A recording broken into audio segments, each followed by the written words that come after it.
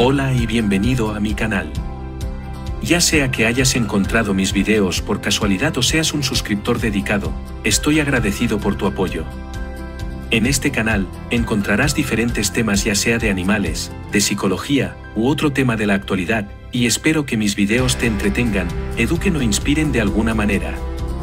Si aún no lo has hecho, asegúrate de presionar el botón de suscripción y activar las notificaciones para que nunca te pierdas un nuevo video. Gracias por acompañarme en este viaje.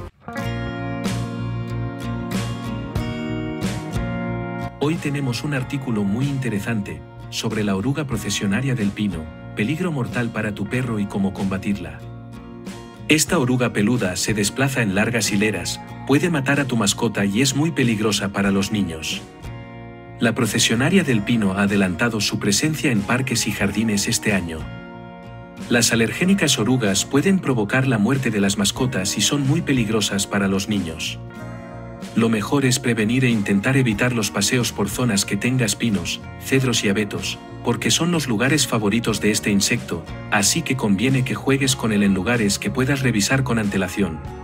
¿Qué hacer si una oruga procesionaria pica a tu perro? No frotar la zona, lavar con agua y acudir al médico o veterinario, según proceda. Cuando tu mascota tiene contacto o ingiere su polilla puede asfixiarse, y los perros son especialmente sensibles a la procesionaria. Cuando la mascota tiene contacto directo con la oruga o intenta comerla, desprende una sustancia tóxica que puede provocar síntomas muy claros, incluso acabar en el peor de los pronósticos, necrosis en la lengua o lesiones graves en el esófago si la saliva está contaminada y llega al interior del organismo. ¿Cómo saber si tu mascota tiene una reacción a la procesionaria? El animal empezará a salivar de forma repentina y muy abundante y verás cómo se le hincha la lengua. Es vital acudir al veterinario con urgencia, porque estos tejidos pueden necrosar. Puede ocurrir que no te hayas dado cuenta de que tu perro ha tenido un contacto leve con la oruga, pero notarás que se encuentra con fiebre y desganado. También puede ocurrir que rechaza los alimentos, los vomita e, incluso, que tiene diarreas hemorrágicas. La procesionaria es muy dañina también con los niños, porque sus pelitos urticantes pueden conducir a los pequeños a episodios anafilácticos graves. Cuando los pequeños juegan sentados en el parque, les llama la atención cualquier cosa, mucho más si es un gusanito colorido que se mueve. Así que tienden a cogerlo con las manos, y en algunos casos, llevárselo a la boca. Además, las personas con piel sensible son propensas a reacciones alérgicas y con el contacto con la Taumetopoea pitiocampa puede desencadenar una sintomatología en distintos grados, desde una urticaria o dificultad de respirar hasta pérdida del conocimiento, y en casos extremos, la muerte por anafilaxia. Asimismo, los árboles son víctimas de la procesionaria del pino, ya que es capaz de aniquilarlos o inducir a que sean parasitados. ¿Cómo acabar con la procesionaria?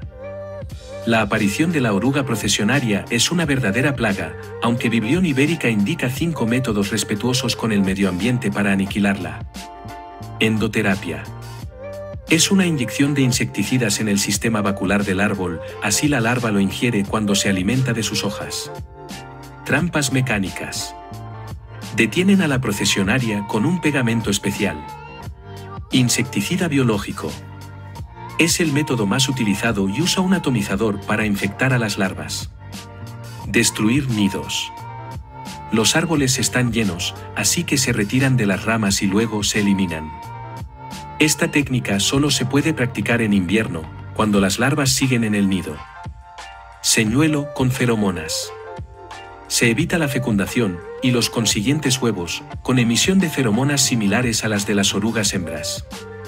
Es un método pasivo que se utiliza durante los meses de verano. Muchas gracias por ver este vídeo. Espero que hayas encontrado este vídeo útil, entretenido, perspicaz. Si lo disfrutaste, no olvides darle me gusta y suscribirte a mi canal para obtener más contenido como este. Y como siempre, me encanta saber de ti, así que deja tus comentarios y opiniones a continuación. Gracias de nuevo, nos vemos en el próximo vídeo.